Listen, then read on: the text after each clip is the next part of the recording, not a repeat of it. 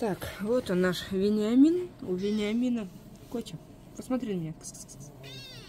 Да, мяу. У него как бы челюсть ровно стоит. А нижняя часть как будто оторвана даже вот так вот. В день, когда Вениамин поступил к нам, он сразу был показан врачу, и мы записались на операцию через два дня.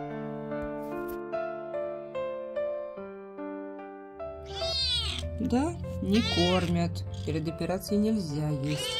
Ходит кот в лоток. Ест он жидкую пищу, пока у него проблемы с челюстью. Отлично ест. Очень ласковый кот. Очень ласковый кот, хороший.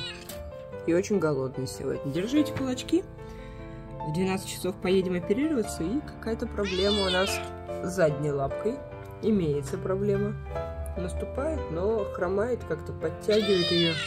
Наши мальчишки. В клинике им разрешили походить, тут пока никого нету. Мальчики ходят, ищут еду. Не могут найти. Кузеньки сняли воротник, будем наблюдать за ним. Кузя, мы за тобой следим. Очень чистоплотный кот, просто он сейчас сразу начнет вылизываться. А ему пока нельзя. Веничек, ты ищешь ням-ням? И посмотреть хотела показать вам, как Веничек прихрамывает на левую лапу заднюю. Будем делать рентген, когда он уснет. Не стали мы его мучить особо. Сделаем рентген, и будет понятно, что у нас там таз, лапа или просто ушиб. Кузя! Да мы поняли, что ты голодный, поняли. Классный голодный кот.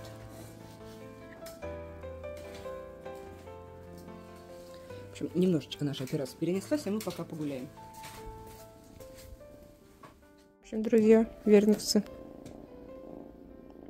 кричим мы только когда нас не гладит, и когда мы голодные. Вот он сейчас голодный, но его гладит. Сидит на ручках, все, сразу успокоился. Начинаем потихонечку искать ему семью, хоть у нас еще впереди лечение, но очень классный, крутой кот. Он такой нежный. Ручной ходит в лоток. Фыр-фыр. Вот все сидит спокойно, не кусается, ничего. Не то, что Леонид, да? Да. Красивый кот. Котяш против. Так, Веник у нас приехал сегодня на операцию. По лапе мы сейчас посмотрим, да? Да, сейчас мы сделаем седацию, он заснет, посмотрим по рентгену, что там у нас с лапкой. Ну, чтобы он, вот он такой беспокойный, чтобы Да, лишний он- раз не травмировать.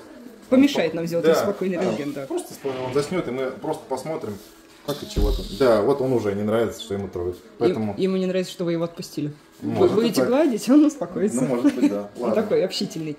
А Понятно. с челюстью что мы будем делать? Там, я так понимаю, челюсть-то... Челюсть у нас сломана симфиз челюсти слева, вот, и ушло в сторону. И там Мгм. гной, процесс гнойный, поэтому пару дней мы Пахнет, да. подождали. Ну, сейчас мы его уложим в сон и будем думать, как Вот собрать. так получается. Мы будем постараемся, прикреплять, скорее всего, в эту сторону, к той стороне. Все, Ну, хорошо. вот, глянь, спрятать. Все, хорошо, спасибо. Начинаем тогда, чтобы не Да. задерживать. Да. Венька, держись. Венику принесли миску, чтобы если тошнить будет, он пошел еду там смотреть. Что, Веник, нету, да? Проверил? Обманка. Еще и вылизываться пытается. Он, кстати, вылизывается. Передние лапы вылизывает. Со сломанной челюстью.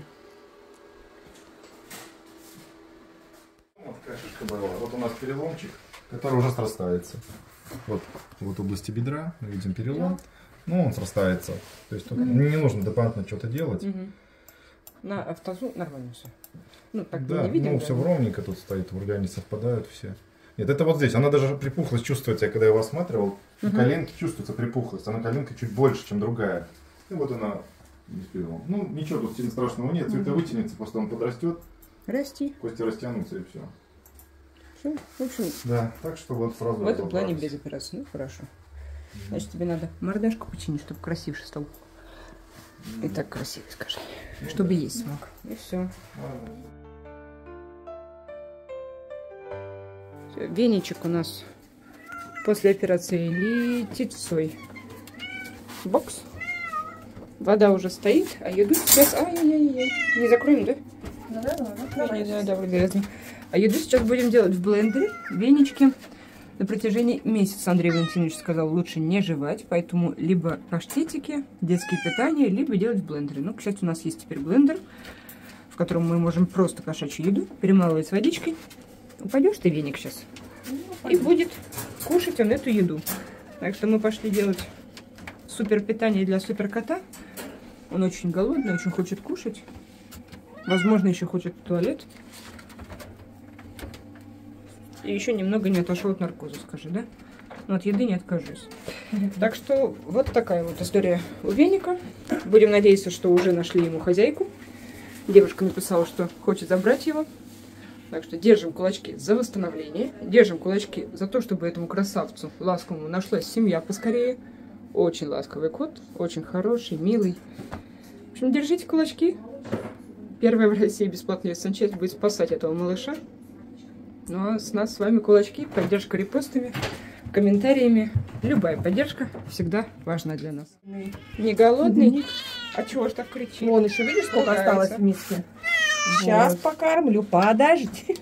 Подожди, убираем. Сейчас мы тебе положим. Она правда, она не обманет, она положит. Я положу.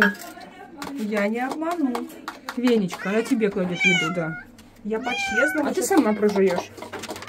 Ну, я не знаю, ты закопала свою еду? Да, она там вообще устроила. Ну, На кавардак, да. А что ты сделала? Вот что это? Наполнитель зачем в еде? Зачем такой наполнитель? Зачем наполнитель в еде? На, мой сладкий тебе. Голодный тигр. Ну, Простите, Веничек. я побоялась, что будет много, оказывается мало. Нет, нет, Из ну, лучших побуждений. Ну, просто Ладно. мы не стали класть ему много. Да. Потому что он после операции, Только-только. Как некоторые кошки, может попробовать есть-есть и уснуть там. Но он вкушает, вкушает довольно хорошо. А язык по привычке держит на бок. Ну, в общем, все. Сейчас доест, спать ляжет, и все будет у него отлично. Те прогуливаются 12, 13, 14, 15, 16. Венечек, про тебя видео мы не разместили. Все спрашивают, как у тебя дела. Как? Как дела? Венечка, все хорошо? Все намного лучше? Отлично. На третий день после операции к Венику приехала будущая хозяйка, которая очень хотела с ним познакомиться и забрать домой. И у них произошел коннект. Так что держим кулачки, выписываем Веника, и он отправляется прямиком в новый дом.